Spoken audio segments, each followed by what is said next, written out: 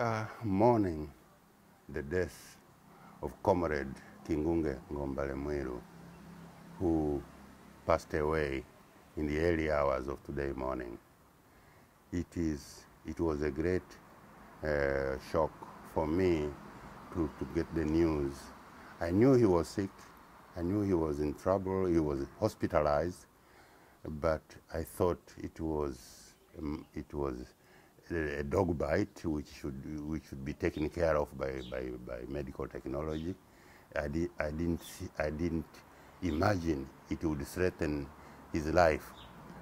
Maybe there were, there were other complications which I do not know, but the sum total of it is that he's now gone. He's, he's, he's, he's, he's no longer with us. So we are together mourning his departure from this world. Mzee, um, Mzee Ngombale was a committed leader uh, of this nation.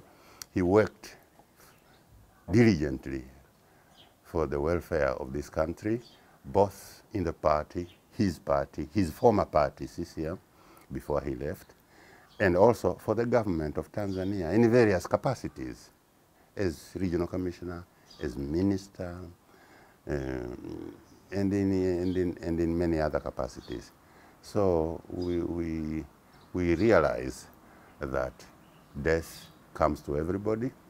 And we only, we, we only differ in, in the time of departure. So all we can do is to pray to God to grant him eternal peace.